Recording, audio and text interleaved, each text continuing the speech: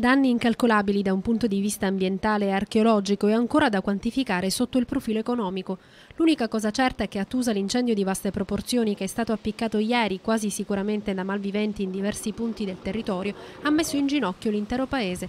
Centinaia e centinaia gli ettari di terreno distrutti dalle fiamme che hanno interessato anche l'area archeologica alesa e parte dell'acquedotto comunale. Sinceramente tutto quello che c'era da bruciare si è bruciato tutto il territorio, sia attorno a Tusa Centro e anche in, in prossimità delle frazioni di Castel di Tusa e Melianne. Approfitto per ringraziare, oltre a tutta la popolazione, in modo particolare il corpo forestale, egregiamente guidato dall'ispettore Chieli, i carabinieri, con il maresciallo Rosa che era insieme a me, siamo stati in servizio diciamo, 24 ore consecutive, i miei vigili urbani, il corpo di protezione civile, nonché i volontari perché di eh, San Mauro, di Sant'Agata, di Santo Stefano di Camastra, quindi ho avuto l'aiuto da parte di tutti. I danni per quanto mi riguarda sono inestimabili. Voi dovete pensare che noi oh, abbiamo perso la bellezza di 354 ettari di bosco di Tardare, che erano le nostre risorse.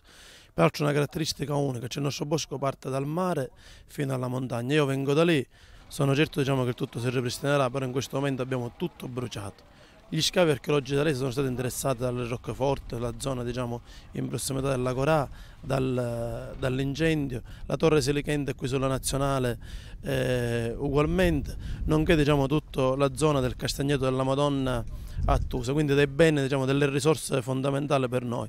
Adesso ho pure verificato che tutta la condotta idrica che portava l'acqua qui al Bosco di Tardare è andata tutta bruciata, quindi diciamo, calcolare i danni secondo me non, non riesco a dire una cifra, però a livello affettivo sicuramente è inestimabile.